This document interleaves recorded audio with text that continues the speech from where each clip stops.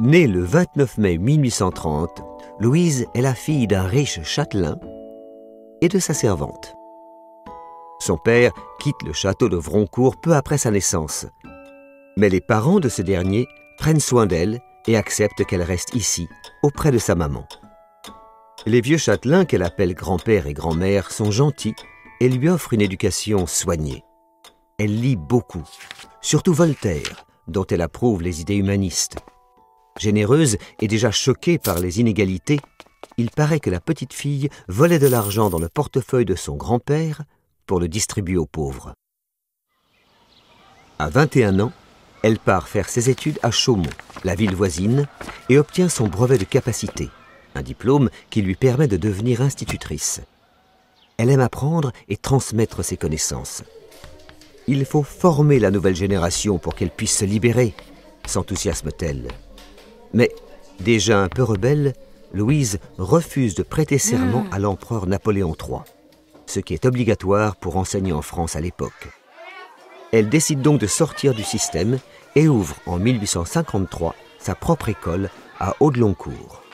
Elle y fera les choses à sa façon. Après environ trois ans d'enseignement à Audeloncourt, Louise décide de tenter sa chance à Paris.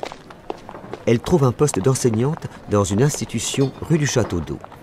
En parallèle, elle prend des cours du soir pour continuer son instruction, s'engage de plus en plus dans le militantisme et fréquente des intellectuels et des chefs de file révolutionnaires. Elle écrit aussi ses premiers textes, des poésies révoltées et des articles dans des journaux d'opposition. Elle envoie même quelques-uns de ses vers au grand poète Victor Hugo, avec qui elle échange des lettres depuis quelques années. Au XIXe siècle, un grand mouvement de libération des femmes se développe en France. On ne l'appelle pas encore féminisme, mais il vise l'émancipation et l'égalité avec les hommes. Louise défend corps et âme ses idées. Notre place dans l'humanité ne doit pas être mendiée, mais prise, dit-elle. En 1869, elle devient secrétaire de la Société démocratique de moralisation, une association qui aide les ouvrières à prendre conscience de leurs droits. L'année suivante, Louise est élue présidente du comité de vigilance républicain des citoyennes du 18e arrondissement de Paris, une assemblée féminine révolutionnaire. Cela fait presque 20 ans que Louise se bat pour défendre ses idées. Le jour, elle est institutrice. Elle fonde d'ailleurs plusieurs écoles. Et la nuit, elle participe à des réunions politiques. C'est pendant cette période qu'elle rencontre le révolutionnaire Théophile Ferré, qu'elle admire énormément. En 1871 éclate enfin la Commune de Paris, une grande révolte populaire contre le nouveau gouvernement d'Adolphe Thiers qui dure plus de deux mois. Louise est au comble de la joie. Même si cela passe par la violence, le peuple se libère enfin de ses chaînes. Louise Michel est une des figures les plus importantes de la commune. En mars 1871, elle monte à l'assaut des buttes, à Montmartre, avec le peuple en colère, une carabine cachée sous son manteau. Pendant la révolte, elle multiplie les casquettes, tantôt sous l'uniforme bleu des fédérés, l'armée des communards, à combattre sur les barricades, tantôt ambulancière, tantôt propagandiste, en collant des affiches et en écrivant des articles et des tracts.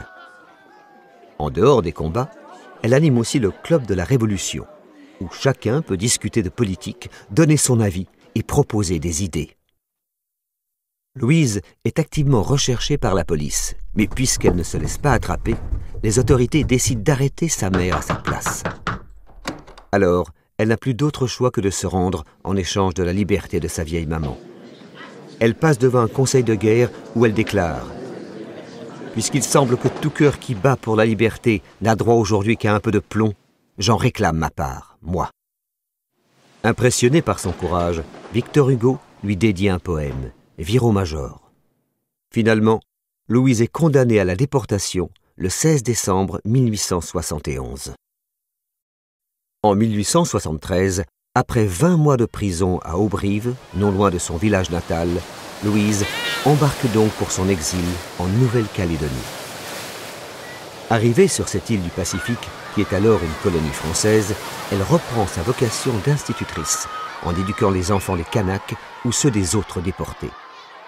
C'est aussi à cette période qu'elle commence à s'intéresser à l'anarchisme. un courant de philosophie politique qui refuse toute forme de domination et d'autorité. Cinq ans plus tard, fidèle à elle-même, Louise prend la défense des Kanaks lors de leur révolte contre les colons qui les maltraitent. Enfin, après des années d'exil, Louise peut rentrer en France. On ne l'a pas oubliée. Pendant son absence, sa réputation s'est forgée. On la surnomme la Vierge Rouge ou la Bonne Louise. Elle prend la tête du mouvement ouvrier et milite en faveur de la grève générale, un concept nouveau à l'époque. Elle commence à faire des conférences en France et même en Belgique, en Angleterre, en Hollande. Les foules se pressent pour l'écouter. Louise est désormais ouvertement anarchiste. C'est même elle qui a l'idée d'un drapeau noir pour représenter ce mouvement.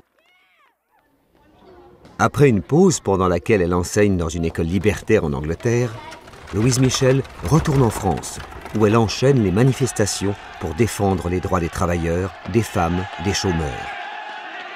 Elle ne craint pas la police, qui pourtant lui en fait voir de toutes les couleurs depuis des années. En 1883, elle avait même été condamnée à six ans de prison, mais graciée au bout de trois. C'est pendant une tournée de conférences qu'elle meurt à Marseille en janvier 1905. En réalité, cela fait longtemps qu'elle est malade. Elle s'éteint dans son lit, mais aura continué la lutte jusqu'au bout.